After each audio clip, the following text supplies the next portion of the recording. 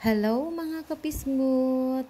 Lalabas po tayo. Tara, samahan niyo ako. So, ito po ang aking kasuotan. ba diba? Para tayong donya kahit walang pera.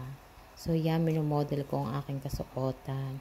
So, niyaya ako ng aking biana. Punta daw sa kanilang friends. So, sumama naman ako para makalabas naman tayo sa lungga. Diba? Yan ang suot ko, guys. Okay na ba yan? So, yan, magpulbo muna tayo. Lagyan natin ng kaayusan ng ating pagmumukha. Oh, shoutout nga pala dyan sa pan sa gamit ko, Bakanaman. So, yan, kuskus mo pa, kapismot ang iyong pagmumukha. Para naman tayo medyo kaaya-aya sa paningin nila. Yan, lagyan na rin natin ang ating leg para pantay ang kulay. Hindi naman tayo maging zombie, di ba?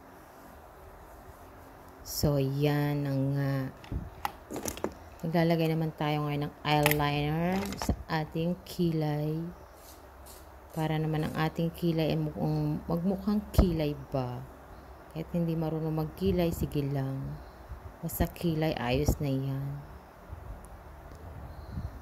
Sige, kuskus pa. Guhitan mo pa yung kilay mo para maging tao ka naman. So, yan ang nga. Ginuhita na nga ni Kapismot. So, yan, di pantay. Lagyan pa natin ng kaunting pahid itong isa. Para magpantay. O yan, pantay na. Okay na yan. So, yan, maglalagay naman tayo ng lipstick ang hindi mawawala sa akin. Ang lipstick. So, yan, nabili ko nga pala yan sa ano, sa Changi Changi. Mura lang siya. Matte siya guys, matte. So, yan ang gusto kong kulay guys. Simple lang. Umay na kasi ako sa mamula-mulang labi. So, flex ko lang guys ang aking nabili ng lipstick. Matte siya with double, double, double na yan. May lip gloss ka na, may lipstick ka pa, o diba? Saan ka pa, char? Ang ganda. Tuwan-tuwa naman si Kapisngot. O, di ba? Ang ganda ng kulay. Sakto lang sa akin, di ba, mga Kapisngot? So, yan. Nagmukhang tao na si Kapisngot, guys. So, tara. So, yun, guys. Andito na kami. Hindi ko na nabidyoan sumakay kami sa bus. Kasi nga, nagmamadali kami. So, akala ko naman, yan, may rambutan pa sila. So, akala ko naman, mga guys, nag-play yung video ko. Ay ko naman hindi pala muntanga lang. So ito yung bahay nila guys. Shoutout sa aso dyan.